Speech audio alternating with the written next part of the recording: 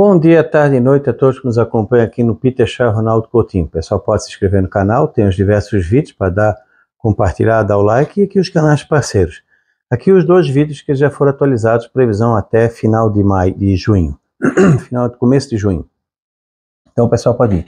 Nós vamos começar agora a fazer um vídeo, uma previsão resumida para quarta-feira e semana, na terça, já que tem esses dois vídeos, para não ficar tão cansativo. O pessoal pode ajudar aqui no canal Ronaldo Coutinho, tem aqui o Valeu, ou então aqui o Pix, qualquer valor a gente agradece bastante.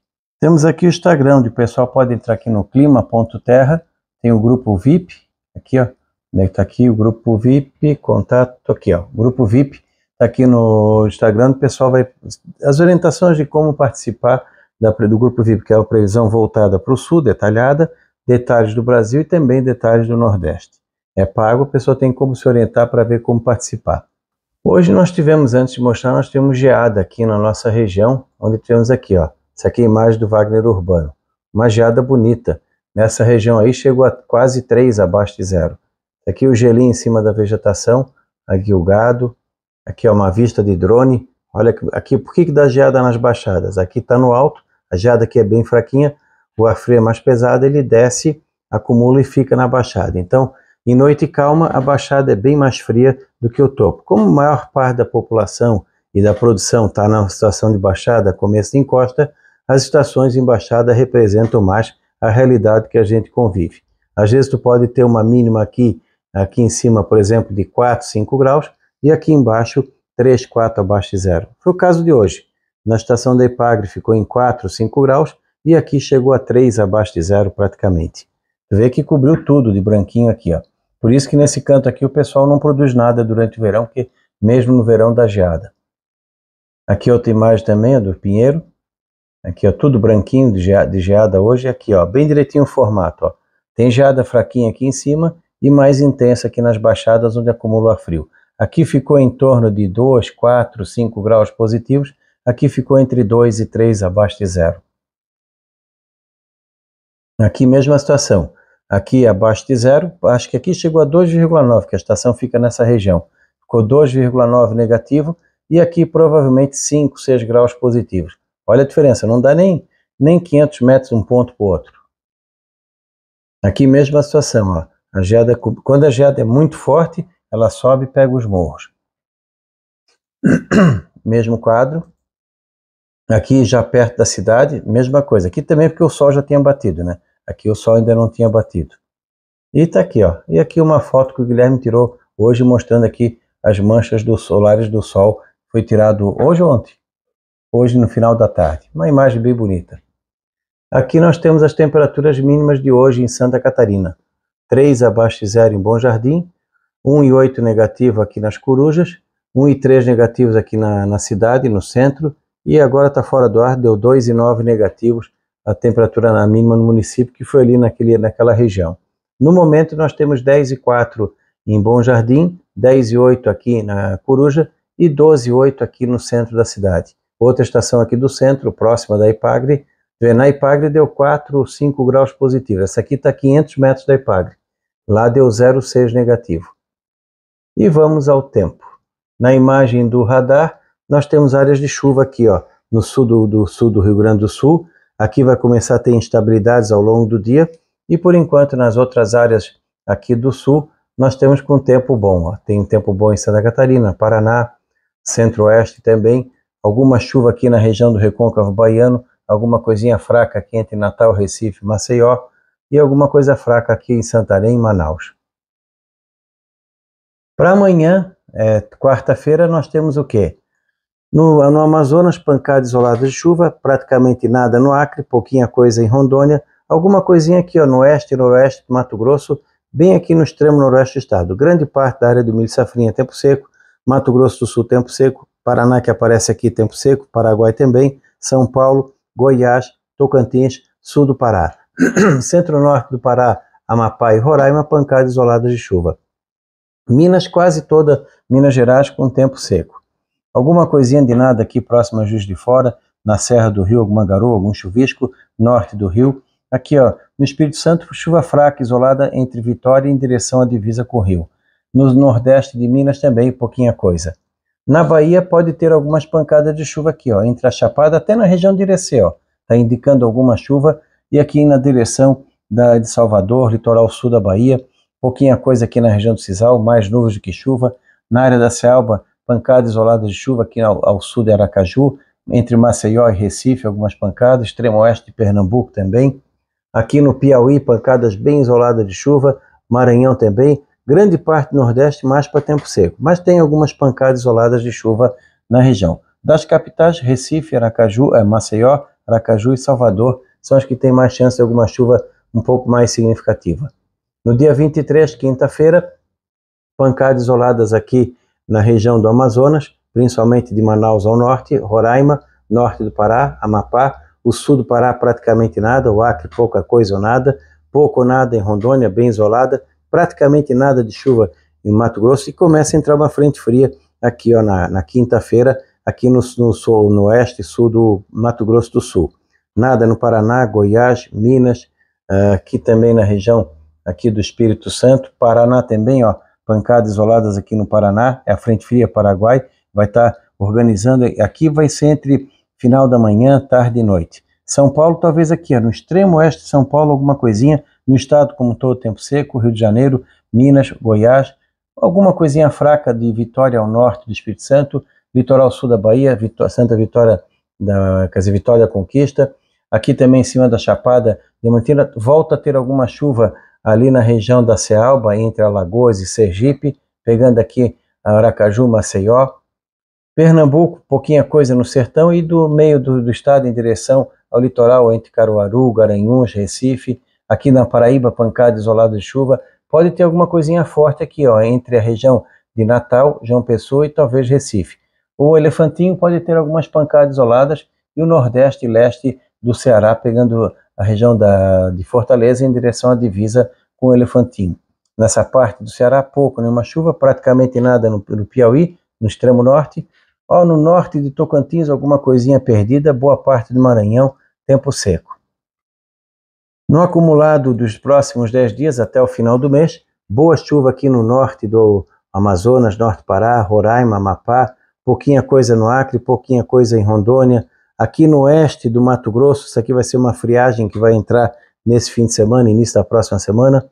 Praticamente nada nessa área central do país, pouca coisa em boa parte do Mato Grosso, Tocantins, já não sei o extremo norte, o sudoeste e sul do, do, de Goiás pode ter alguma chuva com essa frente que vai entrar. Goiânia e Brasília dificilmente. Chove bem aqui, ó, na região do Mato Grosso do Sul. Uma boa chuva aqui, ó, principalmente uma parte vai ser entre quinta e sexta, a outra parte vai ser provavelmente entre terça ou quarta da semana que vem. São Paulo também uma boa chuva, Paraná, Paraguai, pode chover forte aqui na Baixada Santista na semana que vem, pode ter chuva mais forte aqui no Rio, então São Paulo e Rio tem que ficar atento na semana que vem, então tá, não dá para descartar chuva forte. O sul de Minas, ó, o café paulista, o café do sul mineiro, pode ter umas pancadas boas de chuva entre esse fim de semana e semana que vem. Pouquinha coisa aqui no Cerrado Mineiro, talvez aqui entre 25 a 28, alguma coisinha de nada. No leste de Minas também, Espírito Santo, mais na parte sul.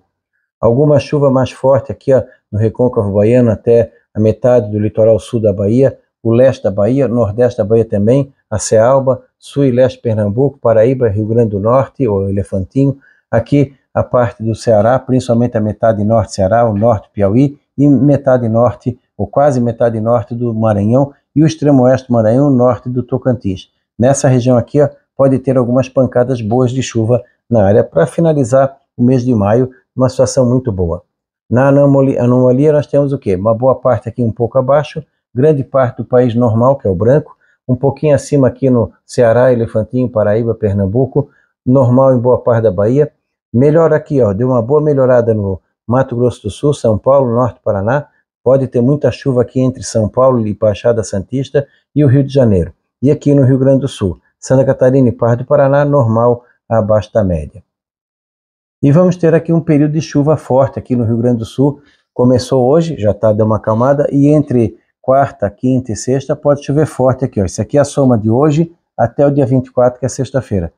Pode chover forte na região de Pelotas, na região aqui entre Santa Maria e Dom Pedrito, aqui também de Santa Maria, Uruguaiana, toda essa parte centro-sul do estado pode ter chuva forte com volumes até bem significativos, alguns locais com 100, 150 milímetros, e aqui ó, entre uh, Santa Maria e Porto Alegre vai ter chuva forte nesse vale aqui que vai depois desaguar na região do, do Guaíba.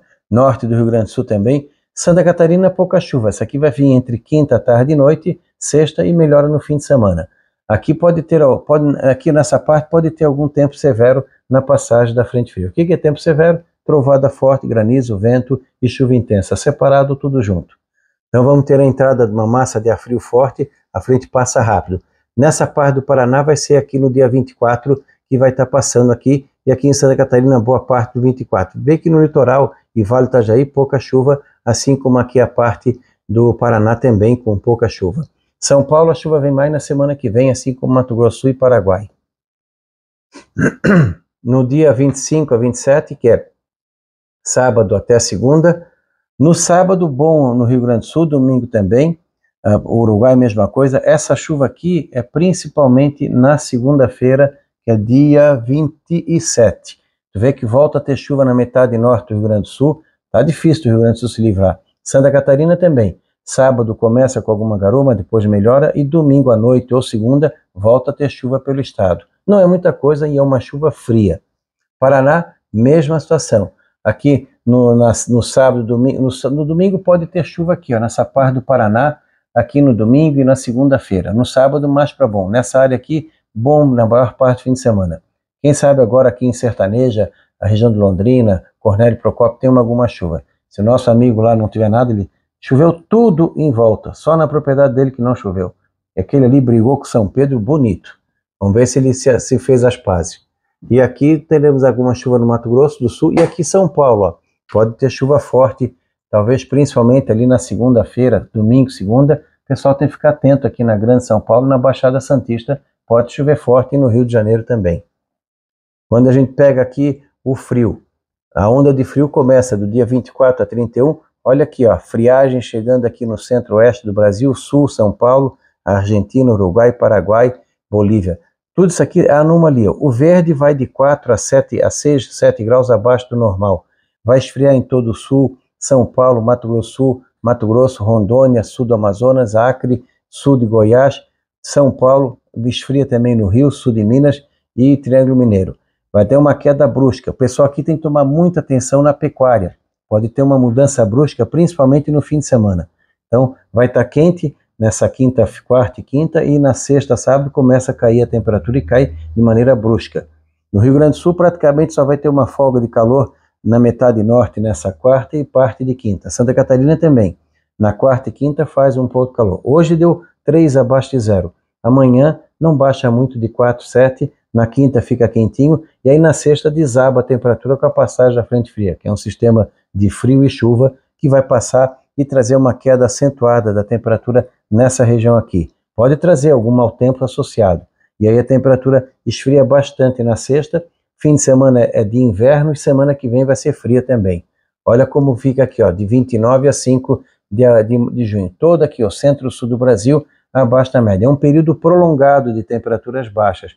Vai ser excelente para o comércio, onde o pessoal vai ter uma condição boa para a parte de venda de produtos relacionados ao frio, turismo também. Porém, vai judiar muito aqui do pessoal flagelado no Rio Grande do Sul. O rio do Rio Itajaiaçu, ele já baixou, deixa eu só ver aqui quanto é que ele estava agora à noite. Vamos ver aqui, onde é que está o Rio Itajaiaçu? Está aqui, ó. o Rio Itajaiaçu está com 6,83, isso às 7h10 da noite de hoje. Provavelmente amanhã, quarta-feira, ele já deve estar no seu leito. Dificilmente vamos se incomodar com o rio Itajaiaçu em Rio do Sul nessa semana. E ali o rio aqui de lá do Rio Guaíba, vamos ver como é que ele está. Aqui, ó. Eu acho que ele já está abaixo de 4. Não, ainda não. Ainda está com 4 e 2 às 5 e meia uh, da manhã de hoje. Ainda não atualizou. Vamos ver se dá mais uma atualizada. Ah, não, 16 e 15. Às 4 e 15 de hoje, ele estava com 4,2. Deve estar tá com 3,98, 3,96 agora. Então, finalmente ele baixou de 4. Mas vem mais água por aí, ou ele estabiliza ou ele sobe um pouco, mantendo aquela região bastante alagada. Fica bem complicado mesmo nessa situação. Então vamos terminar aqui com a imagem do radar, mostrando aqui o Rio Grande do Sul começando a ter chuva aqui nessa região, vai ter instabilidade. Na imagem do satélite aqui do INEMET, aqui já tocou do Nordeste, ó, tem um núcleo de chuva aqui próximo a Teresina, aqui no oeste do Maranhão, e aqui no sul do Brasil, nós temos aqui, ó, está se formando aqui no Uruguai e depois aqui no Rio Grande do Sul. Aí na sexta-feira avança por toda a região, provocando uma queda forte na temperatura. E vamos torcer, né, para que a chuva ajude menos do pessoal do Rio Grande. E o frio vem vindo aí para ajudar também no comércio na, e na, na dormência das fruteiras. Então mudou o padrão. Até o dia 12, até o dia 13 de março, de maio estava muito quente. Do dia 13, 14 de maio para cá, simplesmente mudou o padrão e o frio veio e veio com tudo. Aquilo que a gente falou, atrasou um pouquinho, mas pulsos de frio. É o que está indicando esse inverno. Vamos ter pulsos de frio fortes e alguns intervalos curtos de calor. Vai ser um inverno muito melhor que o ano passado e em relação ao inverno normal, talvez até um pouco mais frio, principalmente aqui no centro-sul do país. No, no, no, Mato Grosso do Sul, Mato Grosso, Goiás, São Paulo, Sudeste, são pulsos de frio que caracteriza o inverno nessas áreas. Sendo que entre agosto e setembro entra no verão térmico do norte do Mato Grosso do Sul, Mato Grosso, Goiás, parte de Minas e Goiás para cima. Ali é normal fazer calor no final de agosto, setembro. Esse ano talvez tenha menos calor nessa região e algumas entradas de frio mais, mais assim significativas nessas áreas, em virtude da laninha que está rapidamente começando a se formar e ela vai atuar durante o nosso inverno e principalmente primavera. Mas isso aí vocês podem acompanhar aqui, ó, no vídeo da laninha, onde já está atualizado. Da Climaterra, Ronaldo Coutinho, voltamos amanhã.